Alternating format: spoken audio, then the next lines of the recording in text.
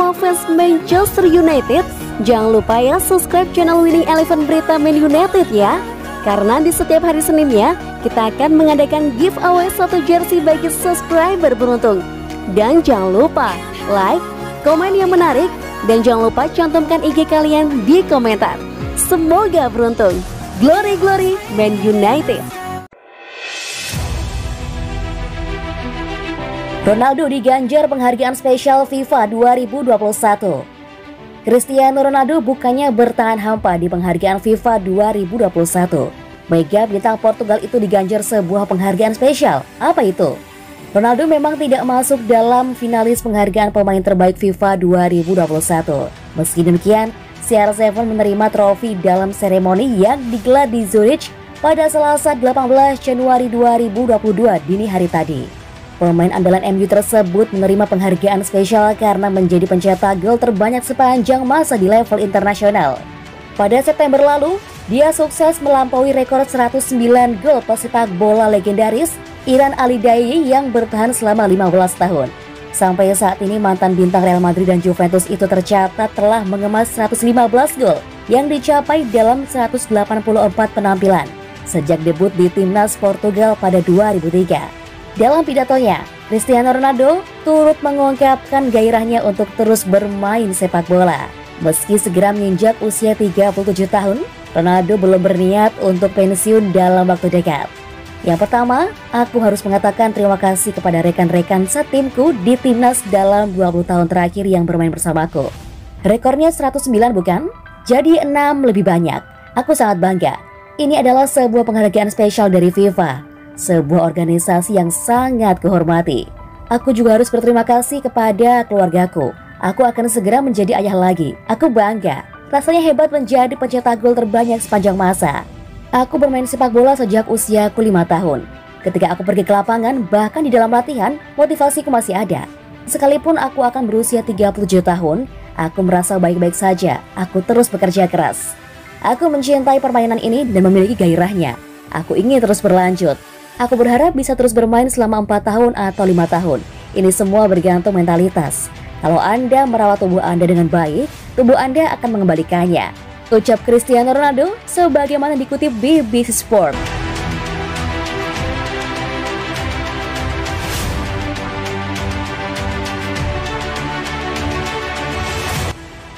Aston Villa versus Manchester United, Roy Keane puji Bruno Fernandes dan kritik dua gelandang lain. Roy Keane terkesan dengan penampilan Bruno Fernandes ketika Manchester United bertemu Aston Villa di ajang Liga Primer Minggu 16 Januari kemarin. Tapi tidak dengan dua gelandang lainnya, Fred dan Matic. MU mendapatkan kritik yang sepantasnya, tapi tidak dengan Bruno Fernandes. Dia memanen banyak pujian dari berbagai kalangan karena performanya yang gemilang. Apalagi dia tidak menjalani musim yang apik saat ini. Roy Keane yang merupakan legenda Manchester United kerap mengeluarkan pernyataan tajam terkait penampilan pemain dari mantan klubnya. Namun kali ini, pujian keluar dari mulut pria berdarah Republik Irlandia tersebut. Pujiannya diarahkan ke Bruno Fernandes. Meskipun melihat beberapa hal yang negatif dari sang pemain, namun Keane merasa kontribusi positifnya menutupi itu semua. Dua golnya, saya memikirkan soal ketenangan, Pembuatan keputusan, saya menyukai banyak hal dari permainannya. Kami tahu dia adalah ancaman gol, memiliki banyak asis. Itu cukup penting jika Anda pencetak gol. Terkadang kami menganalisa apa yang pemain tidak mampu lakukan, tapi dia melakukan banyak hal bagus. Dia melakukan lebih banyak hal baik dari yang negatif. Tentu Roy Keane tidak lupa mengkritik, namun kata-kata pedasnya tidak ditujukan kepada Fernandes melainkan dua gelandang yang menemaninya di lini tengah. Mereka adalah Fred dan Manja Matic. Tapi ada anak lain di dalam tim, Fred dan Matic, yang harusnya melakukan itu, tugas bertahan. Tapi mereka tak melakukannya dengan cukup baik, jadi saya akan lebih kritis pada gelandang selain Bruno. Dua pemain tengah itu tidak bermain dengan cukup baik ketika berada di bawah tekanan.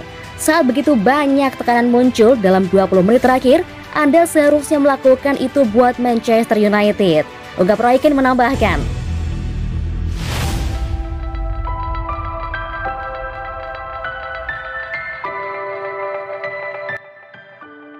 Formasi 4 back dan babak pertama terbaik Ralf Rangnick. Manchester United ditahan imbang Aston Villa 2-2 dalam lanjutan Liga Primer Minggu 16 Januari kemarin. Hasil ini sangat mengecewakan bagi setan merah. Betapa tidak, pasukan Ralf Rangnick seharusnya bisa bermain jauh lebih baik. Tidak ada yang tahu pasti apa masalah MU. Yang jelas, performa mereka di lapangan jauh di bawah ekspektasi. Tanik datang membawa perubahan besar dan dia masih butuh waktu untuk mencari racikan yang pas. Namun gestur para pemain di lapangan tidak menunjukkan semangat untuk bermain. Bahkan Rangnick masih harus mengutak-atik formasi MU mulai dari 4-2-2-2, 4-3-3, dan formasi 3 back. Apa katanya? Kontra Aston Villa kemarin, performa MU dapat dibagi rata dalam dua babak. MU bermain luar biasa di 45 menit pertama dan layak menang dengan performa seperti itu. Sayangnya MU lantas kembali melakukan kesalahan yang sama. Mereka kehilangan kontrol dan melakukan kesalahan-kesalahan sendiri. Ya, performa MU di babak pertama terbaik. Tapi bagaimanapun ini adalah soal hasil akhir dan setelah kalah dari Wolves, hari ini hanya dapat satu poin. Itu jelas tidak cukup. Itulah yang saya rasakan sekarang. Namun kami harus membawa hal-hal baik ke beberapa pertandingan berikutnya, lalu berkembang dan membangun tim dari itu. Kata Rangnick di manut.com.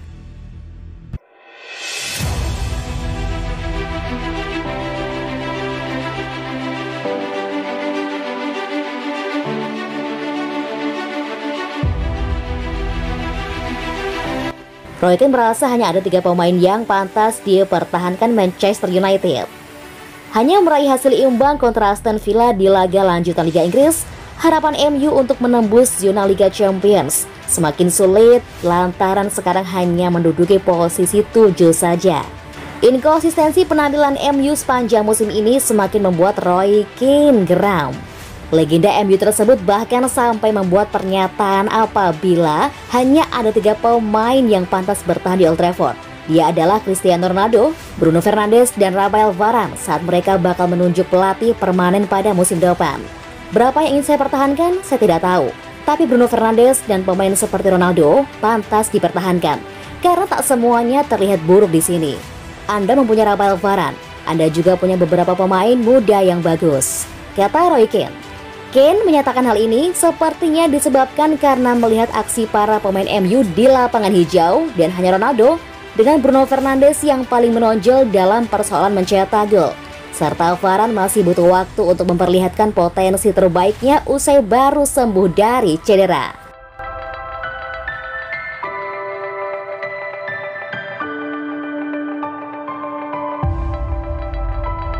Kecewa dengan Juventus, Manchester United siapkan tawaran untuk Paulo Dybala. Klub raksasa Liga Inggris Manchester United dilaporkan sudah melakukan ancang-ancang bila Paulo Dybala gagal perpanjang kontrak bersama Juventus. Seperti diketahui, kontrak Dybala di Juventus akan habis pada musim panas 2022. Hingga kini negosiasi kedua belah pihak masih berjalan alot. Melansir TC Sports, Paulo Dybala dan manajemen si Nyonya Tua sebenarnya sempat sepakat mengenai negosiasi perpanjangan kontrak. Namun kemudian pihak petinggi klub secara mengejutkan malah mengubah isi kontrak yang telah disepakati dengan Dybala. Hal ini membuat sang pemain merasa kecewa berat. Kabar itu membuat Manchester United merasa senang dan sudah menyiapkan tawaran untuk pemain timnas Argentina tersebut.